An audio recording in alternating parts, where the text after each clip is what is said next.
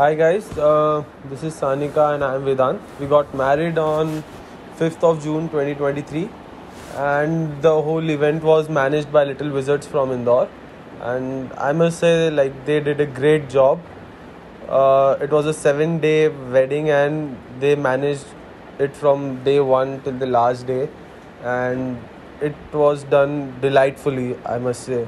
Uh, everything was so smoothly done and everyone from the team was so polite and like on their toes all the time.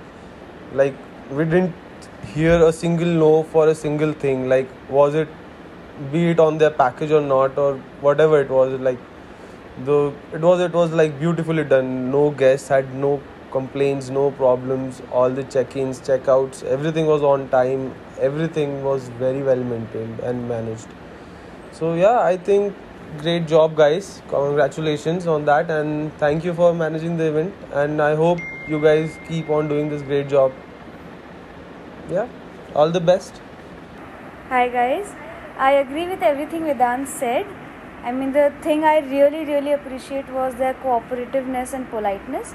So, heads off to that. And it was a very enjoyable wedding because they were very, they took all the responsibility on themselves and kept us free. So, thank you for that.